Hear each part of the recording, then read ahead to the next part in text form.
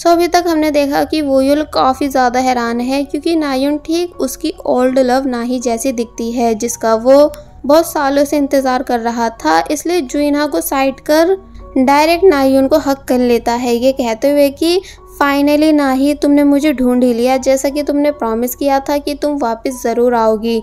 लेकिन नायुन तो कुछ समझ ही नहीं पा रही होती है। एंड जुइना भी शौक थी कि आखिर ये कर क्या रहा है। मगर फिर तभी उसे समझ आया कि ये मिस नायुन को अपनी ओल्ड लव समझ रहा है। वोयुल ने टाइटली हक किया हुआ था, यानी यहाँ वो काफ़ी ज़्यादा इमोशनल था, इसलिए नायुन भी उसे दिलासा देने लगी। तो तब वोयुल ने बताया कि मैं तुम्हें हर दिन मिस किया करता था। यानी तुम्हारे आने से ऐसा फील हो रहा है कि जैसे मेरी सांस वापस आ गई हो। और फिर जब जैसी नायुन को फिर से हक करने ही वाला था, लेकिन इस बार ही वो उसे रोक देती है। ये पूछते हुए कि क्या हम दोनों पहले मिल चुके हैं?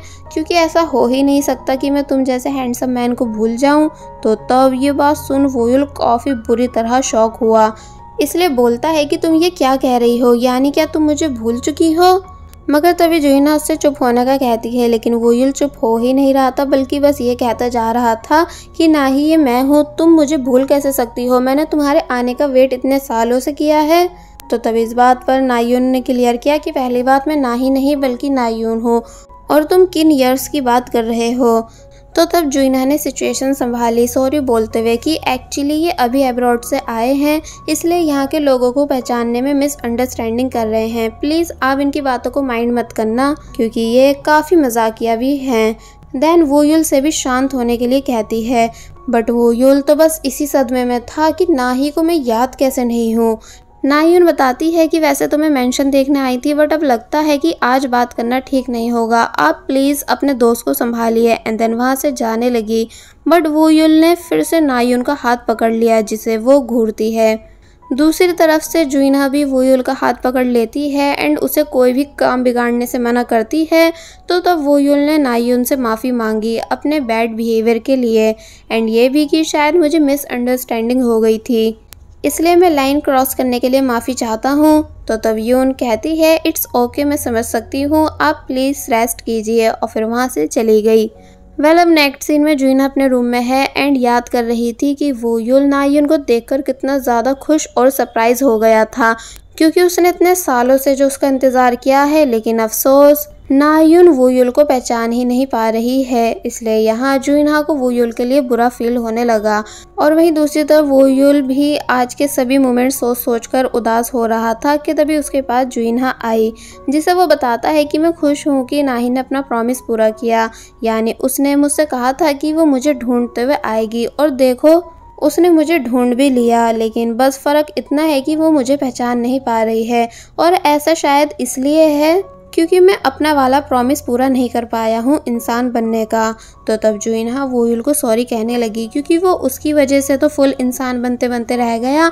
लेकिन वोयल हंस के कहता है, कोई बात नहीं, जो होना था हो चुका है। जुइना पूछती है कि क्या तुम कंफर्म हो कि ये लड़की ना ही ही है?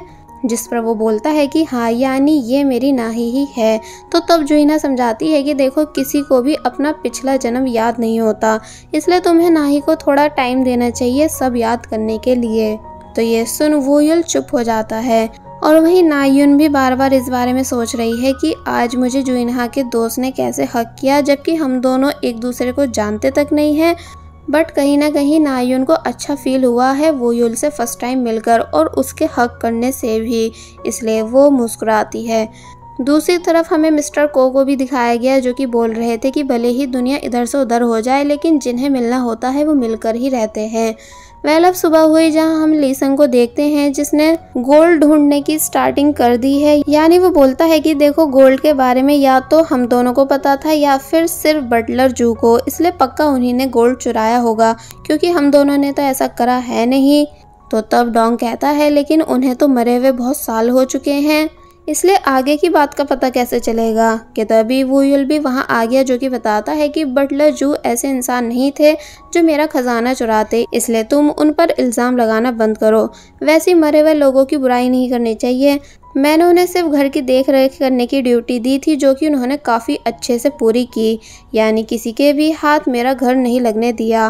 बट लीसंग मान नहीं रहा था तो तब वो युल बताता है कि मुझे तुम दोनों से कुछ इम्पोर्टेंट बात करनी है। दोनों कहते हैं कि हाँ करो। तो अब जैसे वो युल ने बताया कि मेरी ओल्ड लव ना ही मैंशन आई थी तो ये सुन वो दोनों काफ़ी बुरी तरह शौक हुए। और फिर अब हमें इन तीनों को बैठकर बात करते हुए दिखाया गया। जहाँ जब ली संग और डोंग को भी पता चला कि ना ही को वोयुल याद ही नहीं है, जबकि वोयुल इतने सालों से कितनी बेसब्री से उसके आने का इंतज़ार कर रहा था, इसलिए वो दोनों भी वोयुल के लिए काफ़ी ज़्यादा सैड फील करने लगे। वोयुल उदासी के साथ ही वापस घर आता है, जिससे जुइना पूछती है कि तुम पूरे दिन कहाँ थे? पता भी है मुझे तुम्हारी कितनी फ़िक्र हो रही थी। तो इस पर वोयुल बताता है कि मैं बस थोड़ी बाहर की हवा खाने गया था और फिर जुइना को बाय कर अपने बेसमेंट चला गया। तो तब जुइना को और भी ज़्यादा बुरा फील होने लगा, यानी उससे वोयुल की ऐसी हालत देखी नहीं जा रही थी। इसलिए वो वोयुल के लिए ऑक्स ब्लड बाय करने आई ताकि वोयुल को खुश कर सके। जहाँ मीट लेडी ने बातों बातों में बताया कि जो ऑनर मेंशन में पहले रहते थे, उन्होंने एरिया का रीडेवलपमेंट कराने से इनकार कर दिया था। यानी वो ना ही मेंशन को बेचना चाह रहे थे और ना ही उसे न्यू कराना चाह रहे थे। तो तब जोइना पूछती है कि क्या आपको पता है कि वो ऑनर कौन थे? क्या आपने उन्हें देखा था? तो तब वो कहती हैं कि हाँ देखा तो है, लेकिन बहुत साल हो चुके हैं। इसलिए मुझे फेस सही से याद नहीं। तो तब जुइना चुप हो गई, क्योंकि आई थिंक वो जुइना के फादर ही हो सकते हैं, जो पहले इस मेंशन में रहते होंगे। और फिर जब जुइना बातों बातों में बताती है कि वो गेस्ट हाउस बना रही है तो ये सुन वो लेडी हैरान हुई। इसलिए डायरेक्ट दूसरे शॉप ऑनर के पास आकर उसे भी ये बात बता देती है कि क्या तुम्हें पता है, वो दोनों कपल मेंशन में गेस्ट हाउस बना रहे हैं।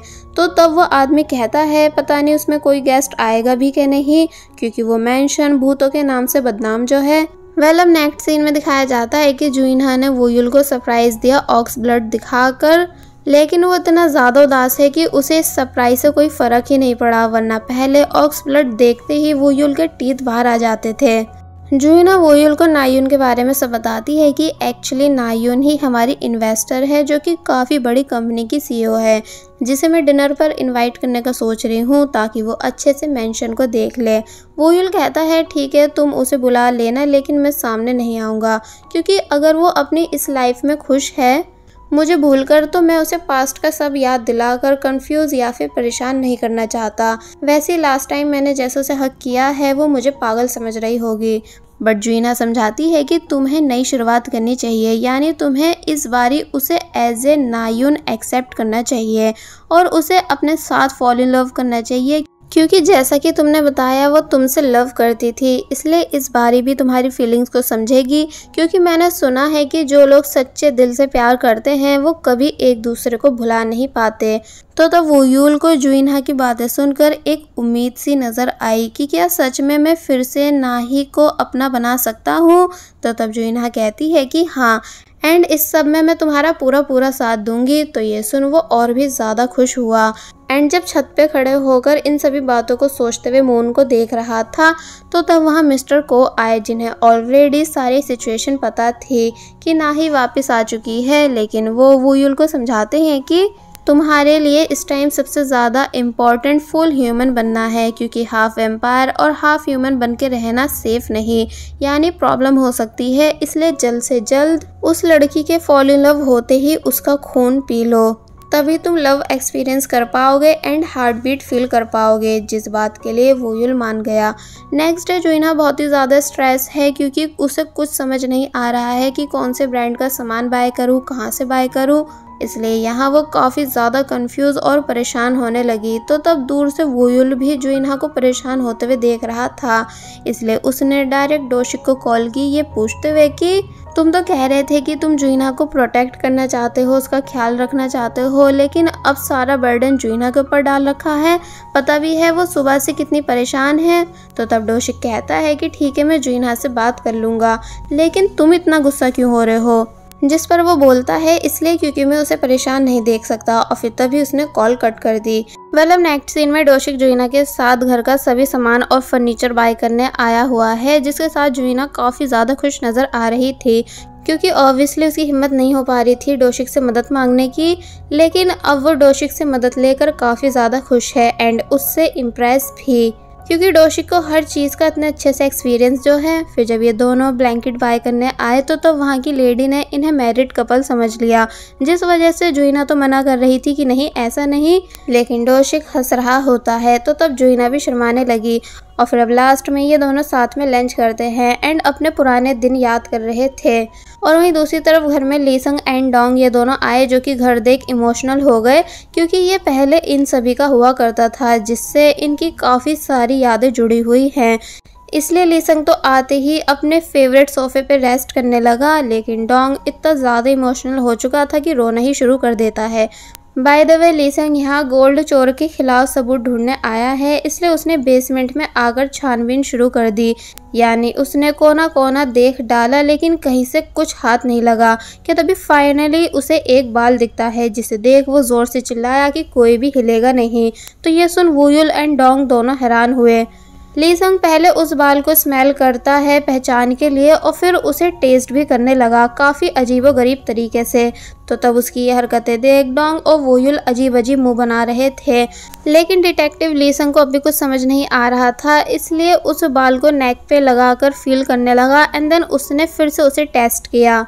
तो तब जाके उसे समझ आया कि अरे, ये तो बिल्ली का बाल है। तो ये सुनडोंग और वोयुल दोनों शौक हुए, क्योंकि बिल्ली तो इन लोगों के कांटेक्ट में सिर्फ़ एक ही है, यानी मिस्टर को। इसलिए लिसन कहता है कि तुम्हें कॉफिन में सुलाने का आइडिया भी सिर्फ़ मिस्टर को का था और हमारे अलावा सिर्फ़ उन्हें ही पता था कि तुम सौ साल के लिए सो गए हो। इसलिए मेरी सर्च और तजुर्बा यही कहता है कि वो बिल्ली ही गोल्ड चोर है। तो तब लीसंग को अपने प्रोफेशनल वे में केस सॉल्व करता देख डोंग और वोयल उसकी तारीफ़ करने लगे।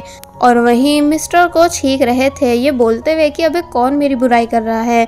वोयुल पहले तो यकीन ले आया कि हाँ मिस्टर को ही होंगे, मगर फिर बोलता है कि अरे नहीं, ऐसा नहीं हो सकता। यानी मुझे उन पर पूरा विश्वास है कि वो ऐसा नहीं करेंगे। उन्होंने शुरू से मेरा साथ दिया है। क्या पता ये किसी और बिल्ली का बाल हो? तो तबली संग बैठ के कहने लगा कि नहीं, ये काम उसी बिल्ली यानी मिस्टर को का ही है। जिस बात को मैं प्रूफ करके ही रहूँगा, एंड सोना भी वापस लेकर ही रहूँगा। और बस फिर इसी के साथ पार्ट 11 यहीं पर एंड हो जाता है।